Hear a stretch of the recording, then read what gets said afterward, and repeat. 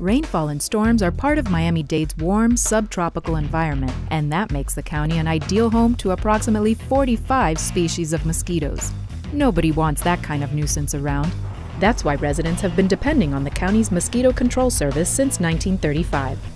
With our effective methods, equipment, and insecticides, we stay on top of infestations through proactive monitoring. This is the dry ice that attracts the mosquitoes uh, the fan is on, the mosquitoes fly into the fan, and we collect them so they're alive when we take them back to the office.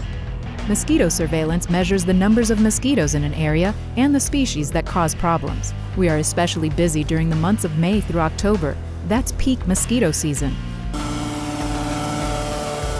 Citizens most often see us in our spray trucks applying a fine mist of concentrated insecticide to get rid of primarily localized concentrations of the pesky insects. We also target mosquito larvae often found in storm drains. Residents are encouraged to report a mosquito problem and request mosquito inspection services by calling the county's contact center at 311.